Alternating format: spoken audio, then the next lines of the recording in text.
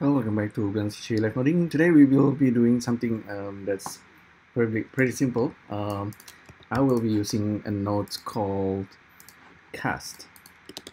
I almost never use this one. It's cast nodes to sphere, to prism, and to cylinder. Okay, so what is this cast node does actually? It's a uh, pretty simple, right? If you have Suzanne and you plug this in and you want some kind of output so you have your draw. Plug in the vertices you can see that Suzanne head is now a sphere because it's casting it into a sphere. You can change it into prism which is rather like a cube. That's actually kind of funny. And uh, also cylinder. And there's also UV sphere uh, then you can play around with this the strings the meridian parallels. Uh, I like this uh, this prism. Seems pretty funny like that. Suzanne head but it's cube but it's like default cube and you can bake it out. Um, hey my left left click is right click. Okay I have to change that. Uh, input okay. So what else uh, can we can we do with this? So there are other options but uh, for what I'm trying to do what I'm trying to show you maybe we can use it with a cylinder. So cylinder turning it into sphere.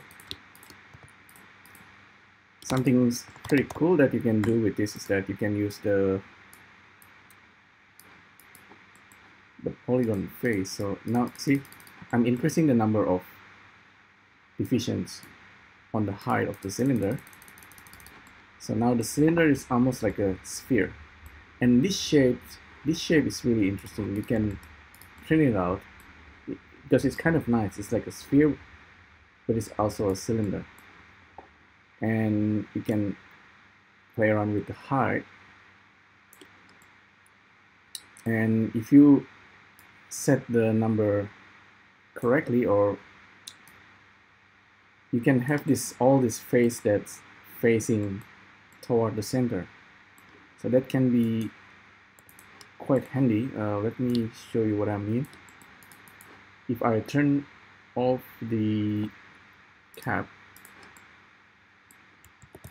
and let's save this very quickly. So this is cast etc because I'm using cast node but, I, but I'm also doing other thing we can use the face as instancing tool. So what is that exactly? So the face normal and the position of the face polygon can be something that we can use. Okay, uh, let me show you. You can use something like polygon boom to separate each and every face first of all um, I can save that for later. Let's say if we have actual Suzanne head here.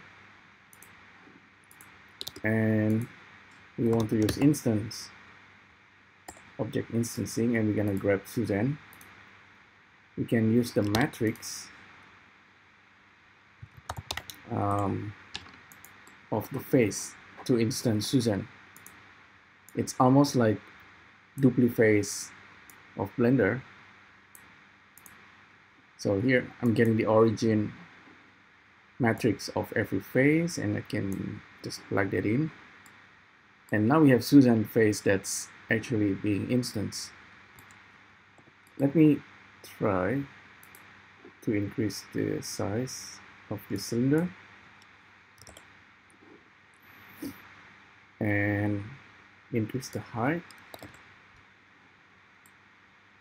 Uh, you see we have Suzanne face that's kind of instance on the cylinder. Okay.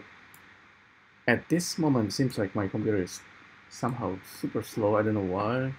Maybe it's processing Gmail or something in the background. Maybe I should turn this off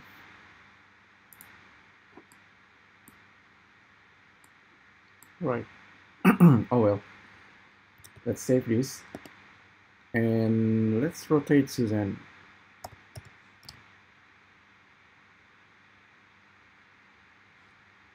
Is This is correct.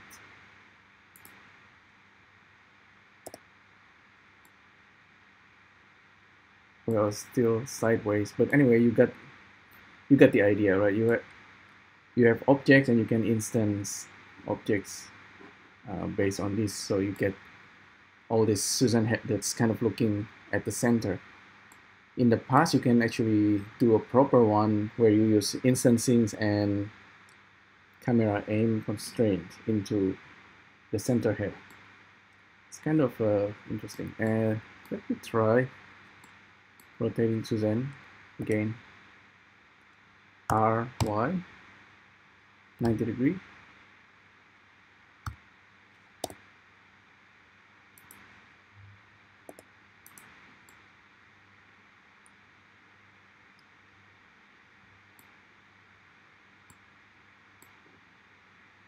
Maybe I can reduce this number for now.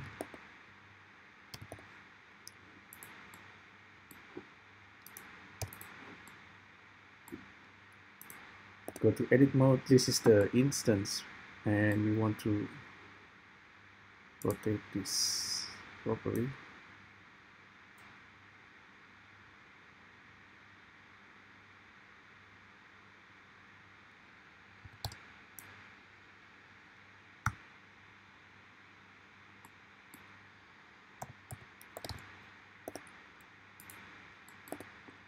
okay.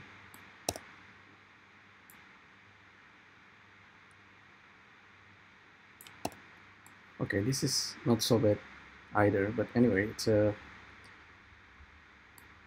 Suzanne and we have this way to control the positions in the cylinder thanks to the cast sphere.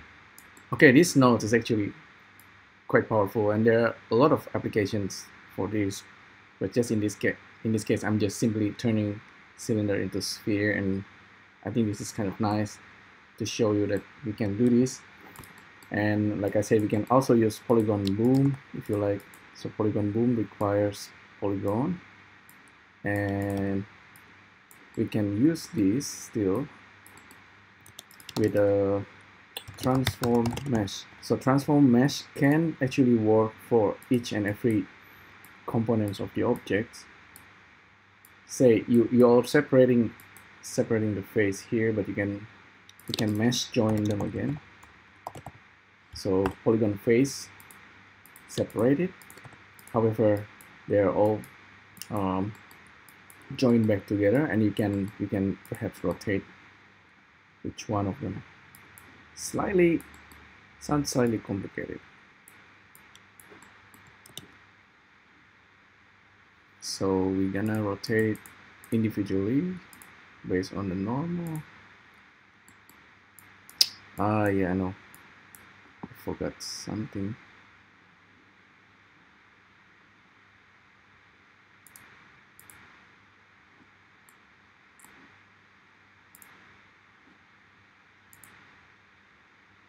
Yeah I think we probably cannot do it that way unless we recalculate the normal so cancel that for now. Let's keep it like this. Keep it simple for now. It's supposed to be something super simple. So with the Suzanne head. You can rotate it. 180 degree. Now we have all this Suzanne head that's kind of looking toward the center